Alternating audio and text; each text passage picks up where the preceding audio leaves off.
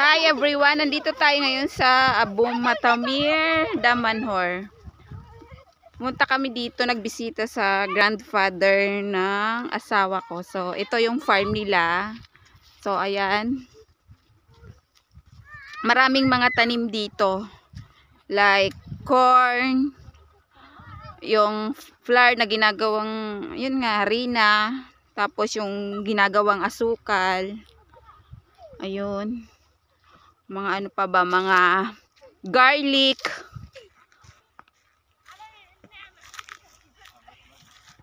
Tsaka okra. Ayan. So yan, yung mga batang yan, mga kalaro ni Ama dito, mga pinsan niya.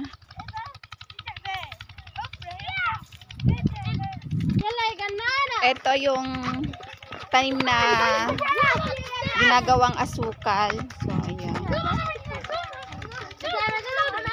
Ayan.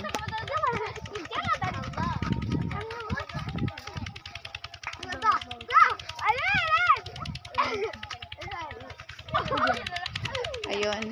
Yung naririnig nating ano, medyo maingay doon, nagpapatubig sila para sa mga tanim dito yan. Ano ba tawag yan sa atin sa Pilipinas? Irrigation ba yun?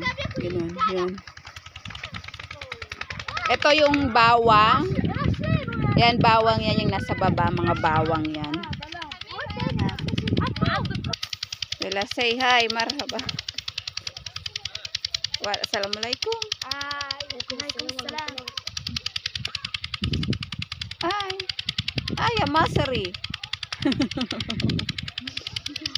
oh, ente. Abdu. Ahmad. Sa Am. Ahmad.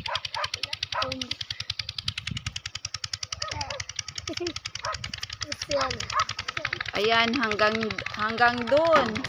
Malawak siya. So, sa pal- lahat ng palibot na to. So, wag na, wag na tayong pumunta sa ibang part kasi medyo mainit saka yun na nga kapagod mag mag-uli maglakad. Tapos ito naman yung ano yung ginagawang full in, sa English yung chickpeas. Yan. Papa-irrigation ano na sila ng tubig para sa mga tanim nagpapaandar na ng ano yun nga yung irrigation. So yung ibang mga bahay dyan mga kamag-anak rin yan mga nakatira dyan dito naman tayo sa part sa mga alagang hayop nila dito sa farm ito yung donkey ito yung mga buff buffalo, yung mga malalaking kalabaw. Ito yung mga kalabaw, baka, ayan. Mga alaga nilang kalabaw at baka. Marami pa doon sa likod sa sa kabilang part pero ayaw ko nang pumunta doon so dito na lang muna tayo. Ayan. Eh, eh, ito pa yung ibang mga baka nila ng lolo ng asawa ko. So, ayan yung ibang mga baka. Ito naman dito yung mga pato. Tsaka yung mga manok. Nasaan babanda yung mga Ayan. Ayan yung mga iba pang mga pato, mga kalabaw.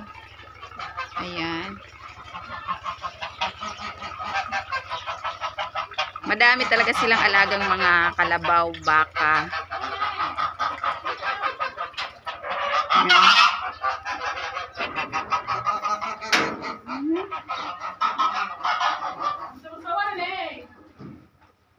Ha?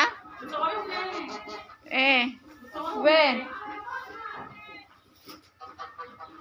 Suwarap na yung bak.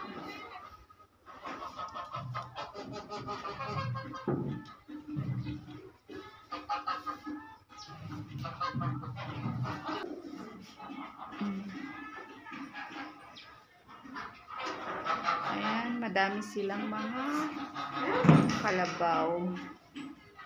Lada bakara, bakara. Ka? Bakara.